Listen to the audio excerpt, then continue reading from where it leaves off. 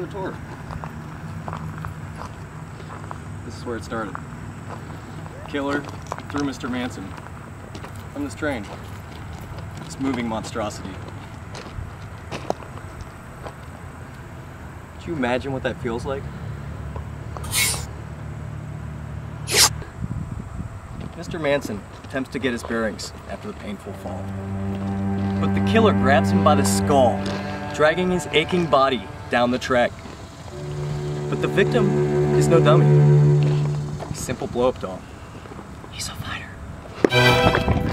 I'm sorry, man. Did that scare you? Nasui. Come on.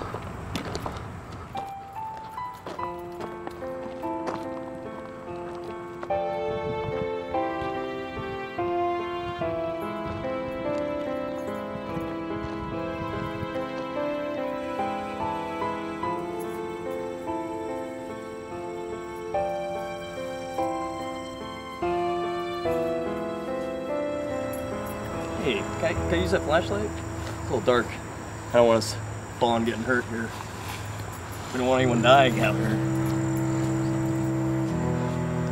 After delivering a painful lower cut, Mr. Manson runs off into these dark woods to escape his killer, to hide.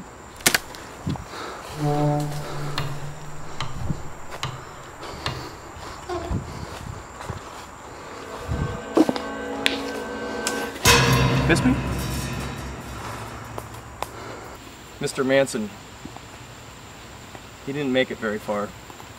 See, he became entangled in these dark woods. He made it to about here, falling, tearing his shirt. Part of his shirt was found, and some blood.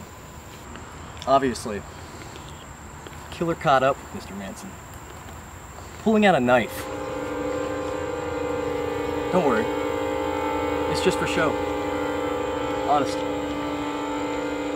May I? I promise, it's just a demonstration. I'm not really gonna cut you.